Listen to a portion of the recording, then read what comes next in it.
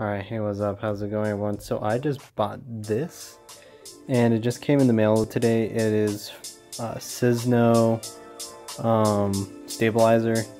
It's, I don't know, my girlfriend thinks it's heavy, but I don't think it's heavy. But I'm gonna go try to stabilize like my camera on it, so I'm gonna go do that right now and see how this works, because uh, I don't know how this works at all.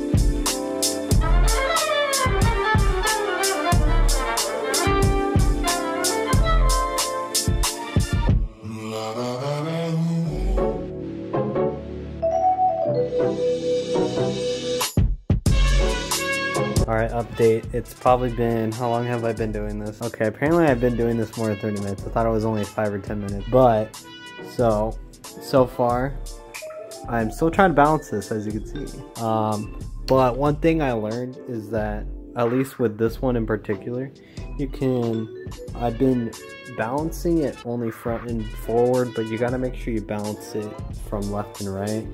And you can do that by, uh, you can move this forward and back so you can balance it. If it's moving too much this way, then you can move it back that way to move so then it's like this but then if it's leaning to the right you can adjust this one right here. Uh, if it's moving too much to the right you know you just move this other way and that should hopefully balance it. Um,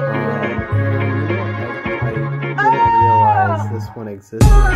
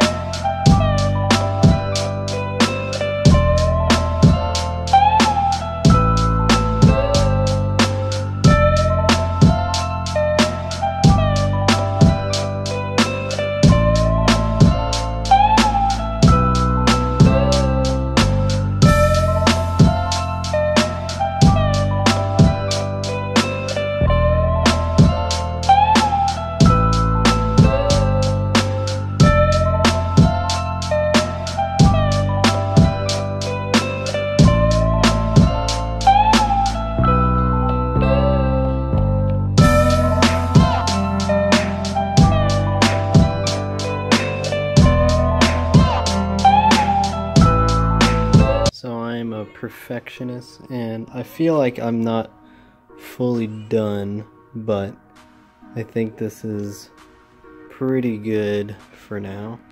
I will try again another time, but when I record and I'm vigorously, I am vigorously moving this up and down.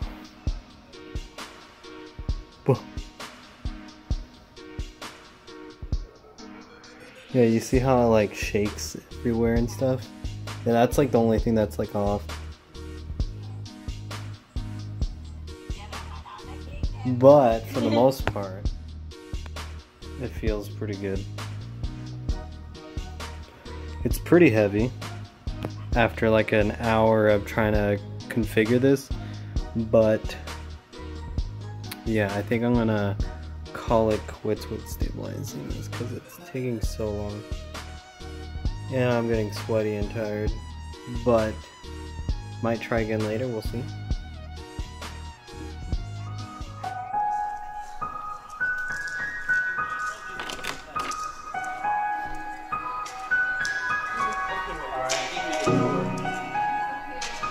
Well, now we know we can keep someone down here to do all the cutting, you know? I'm testing it out.